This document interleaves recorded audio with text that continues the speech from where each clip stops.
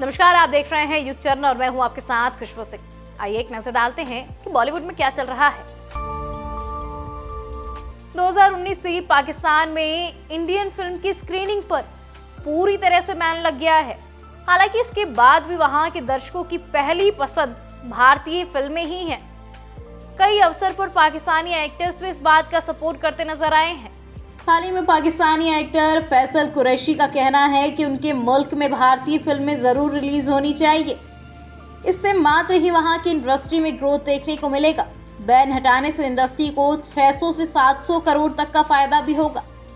Reports के मुताबिक फैसल कुरैशी ने कहा कि वो सच्चे देशभक्त हैं। लेकिन अगर पाकिस्तानी सिनेमा चलाना है तो भारतीय फ़िल्मों की स्क्रीनिंग करना बहुत ज़रूरी है। उन्होंने कहा, ऐसा कहने में बहुत स्वार्थी हो रहे हैं। क्योंकि पाकिस्तानी दर्शक भारतीय फ़िल्में ही देखना चाहते हैं। सरकार उन पर अपनी मनमर्जी नहीं थोप सकती है। उन्हें भारत के साथ रिश्ते सुधारने के लिए काम करना चाहिए। पिछले महीने बॉलीवुड में कई सेलिब्रिटी शादी के बंधन में बंधे।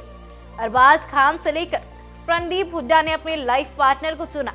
किसी ने निकाह किया तो वहीं किसी ने मैतई रीति रिवाज से शादी की। वहीं अब नए साल के मौके पर बॉलीवुड के एक फ़ेमस कपल की शादी की खबरें सामने आई है, जो जल्द ही साथ फेरे लेने जा रहे हैं। हम बात कर रहे हैं एक्ट्रेस रकुलप्रीत सिंह और एक्ट्रेस और प्रोड्यूसर जैकी भगनानी की। न्यू ईयर के मौके पर रकुलप्रीत सिंह और जैकी भगनानी के फैंस को गुड न्यूज़ मिली है। मीडिया रिपोर्ट्स के मुताबिक रकुलप्रीत सिंह और जैकी भगनानी अगले महीने यानी 22 फरवरी 2024 को शादी के बंधन में बंधने वाले। हैं हालाँकि कपल की ओर से कोई ऑफिशियल ऐलान अभी तक नहीं किया गया है। इतना ही नहीं, रिपोर्ट्स में खुलासा किया गया कि ये कपल डेस्टिनेशन वेडिंग करने वाला है। दोनों ने अपनी शादी के लिए खूबसूरत शहर गोवा को चुना है। जी हाँ जैकी और रकुल गोवा में शादी करेंगे। पूरे वर्ल्ड ने बीते दिन साल 2023 को अलविदा कह दिया है और इसी के साथ नए साल का जोश के साथ स्वागत भी किया। बॉलीवुड के तमाम सेलिब्रिटीज ने भी नए साल का गर्मजोशी के साथ वेलकम किया। वहीं बी टाउन की most popular actress Kareena Kapoor ने भी अपने पति सैफ अली खान और दोनों बेटों, तैमूर और जे संग नए साल का जश्न मनाया। एक्ट्रेस ने इसकी झलक भी अपने इंस्टाग्राम स्टोरीज पर शेयर की है। करीना कपूर खान ने साल 2023 को अलविदा कहते हुए न्यू ईयर का वेलकम करते हुए अपने इंस्टाग्राम पर फैमिली संग अपनी तस्वीरें पोस्ट की है। फ़ोटो में actress colourful velvet sharara suit पहने बेहद ही खूबसूरत लग रही हैं। उन्होंने बालों में रेड रोज लगाया हुआ है और डेवी मेकअप किया हुआ है। करीना ने अपने बालों को जूड़े में बांधकर अपना लुक कंप्लीट किया है। करीना के पति और actor Saif Ali Khan white shirt और मनाट टाई के साथ सूट बूट में काफ़ी हैंडसअप लग रहे हैं। पहली तस्वीर कपल की मिरर फाई है। वहीं दूसरी तस्वीर में सैफ और करीना अपने दोनों बच्चों तैमूर और जे संग नज़र आ रहे हैं। जहाँ तैमूर सूट बूट में काफ़ी प्यारे लग रहे हैं तो वहीं जे ब्लू स्वेटर में काफ़ी क्यूट लग रहे हैं। वहीं सैफ और करीना अपनी फ़ोटोज़ क्लिक करने में बिज़ी दिख रहे हैं। पहली तस्वीर को शेयर करते हुए जाने जान एक्टर ने कैप्शन में लिखा, क्या आप तैयार हैं? हम तो तैयार हैं। दूसरी फ़ोटो में उन्होंने लिखा, फ्रेम किया हुआ, इकतीस बारह दो हज़ार तेईस। शाहरुख खान ने साल 2023 में बैक टू बैक तीन फ़िल्में दी।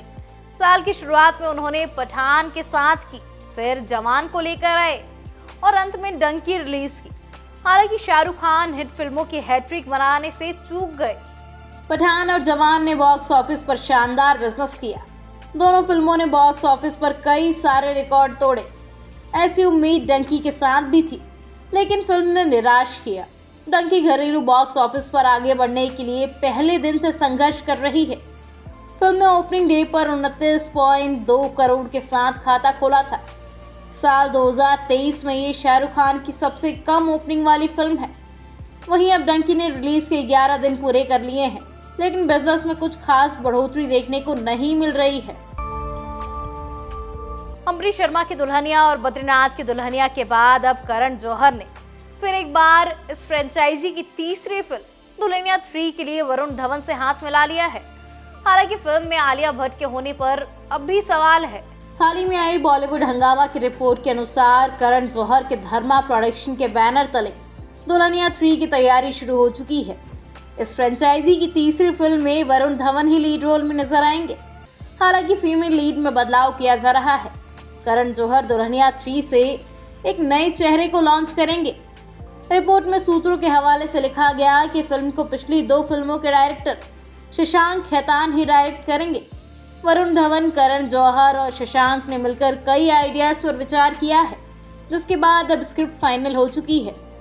फ़िल्म की शूटिंग इस साल यानी 2024 में होगी।